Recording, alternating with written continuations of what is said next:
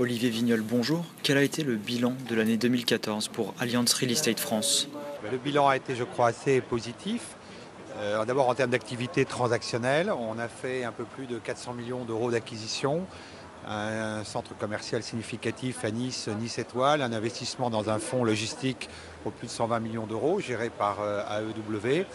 On a par ailleurs une activité de production de nouveaux financements euh, hypothécaires supérieurs à 500 millions d'euros.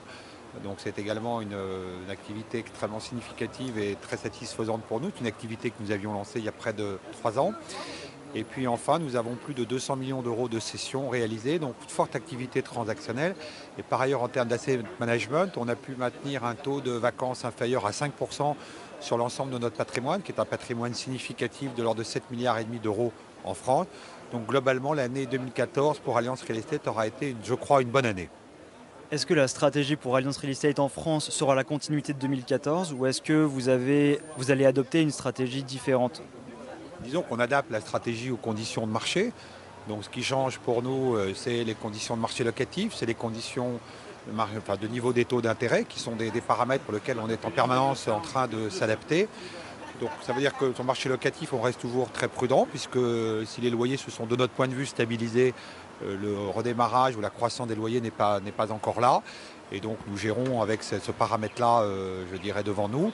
Et puis nous devons nous adapter au nouveau contexte de taux euh, d'intérêt, des taux d'intérêt extrêmement bas, ce qui pour l'assureur que nous sommes est un élément que nous devons prendre en compte. Et nous adaptons euh, notre stratégie d'investissement à ce niveau de taux d'intérêt.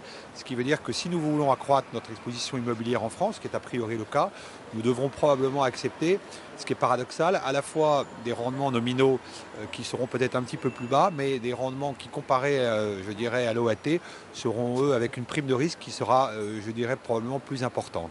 Donc voilà comment nous adaptons notre stratégie d'investissement immobilier. Et en ce qui concerne la typologie d'actifs dans laquelle vous souhaitez investir majoritairement et la euh, localisation géographique, quelle est-elle? Alors, euh, en termes de classe d'actifs, nous souhaitons c'est diversifier notre risque, mieux répartir notre portefeuille, c'est-à-dire que nous sommes très exposés au marché des bureaux. Donc euh, nous portons une grande attention au marché de la logistique et euh, également au marché du, commerce pour essayer d'augmenter la part de ces actifs dans notre portefeuille afin de réduire la part des bureaux à un petit peu moins de, 60%. Donc ça c'est la, stratégie euh, globale. En termes de localisation géographique, en termes de bureaux, nous sommes effectivement nous très focus sur l'île de France.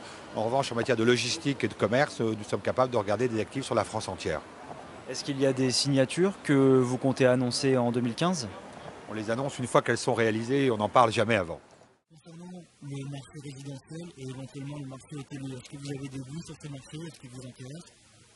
Sur le marché résidentiel, nous avons une part significative, près de un peu moins de 20% du portefeuille euh, qui est investi en résidentiel. C'est une part euh, qui nous semble à un niveau approprié.